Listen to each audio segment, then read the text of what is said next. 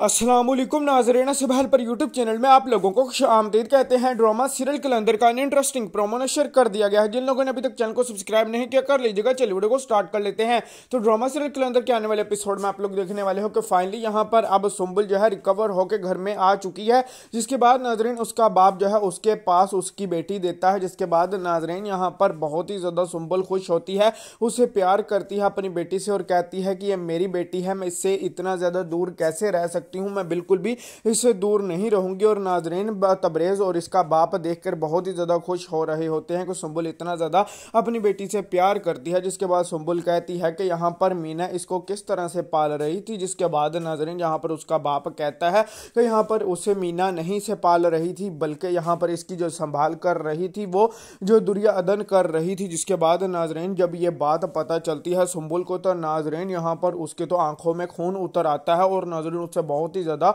गुस्सा आता है और नाजरीन तबरेज़ भी उसे देख के नाजरीन यहाँ पर काफ़ी ज़्यादा शॉक्ड हो जाता है कि एक बिल्कुल भी नहीं बदली। वैसे हम लोगों ने समझा था कि ये बदल जाएगी, लेकिन ये बिल्कुल नहीं बदली और नाजरीन, यहाँ पर इतनी ज़्यादा यहाँ पर दुरिया अदन की दुआओं की वजह से ही ये ठीक हुई है, क्योंकि इसका बाप इसे बहुत ही ज़्यादा रो रो के कह रहा था कि यहाँ पर मेरी बेटी को माफ़ कर देना, यहाँ पर उसके लिए दुआएँ करना, और नाजरीन, इसने यहाँ पर सब लोगों को बहुत ही ज़्यादा ख्याल रखा है, जिसकी वजह से सब लोग इसकी फेवर में ही हो सकते, हो चुके हैं लेकिन नाजरीन सुम्बुल अभी तक नहीं हुई और नाजरीन रात रात जाकर इसने इसकी बेटी को इतना ज़्यादा यहाँ पर संभाला पाला पोसा लेकिन नाजरीन इसे बिल्कुल भी कदर नहीं है और नाजरीन ये शायद तबरेज़ के साथ इसे देख के दूरियाँ ख़त्म होते हुए ये अपने बाप को कह रही होती है कि नहीं बा, आप बा, बाबा मेरी बात सुन ले यहाँ पर यह बिल्कुल भी घर में नहीं रहेगी दुरियादन और आज जब तबरेज़ आएगा तो उसे कह देना कि यहाँ पर ये अदन जो है ये तुम्हारी ज़िंदगी में बिल्कुल भी नहीं रहेगी उसका बाप उसे समझाने की कोशिश करेगा जितना ज़्यादा तुम उसे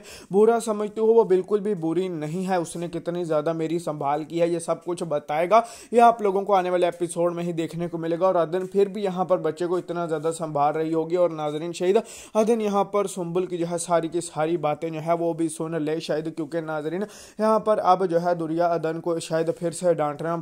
डांटना शुरू कर दे। यहाँ पर ये जो सुम्बुल है तो आप लोगों को क्या लगता है कि सुम्बुल के साथ यहाँ पर और ज़्यादा बुरा होना चाहिए था, या बस इतना जितना हो गया, इतना ही। बहुत है, आप लोग ज़रूर से बताइएगा, और ये जो कुछ वेदन के साथ कर रही है, ये ठीक कर रही है या नहीं? और नाजरीन, जब ये कहेगी तबरेज़ को कैसे तलाक दे दो तो नाजरीन ये देगा या नहीं? ज़रूर से बताएगा बेटे शिल्क लाइक दोस्तों शेयर कर देना बाय फ्रेंड्स अल्लाह हाफिज़।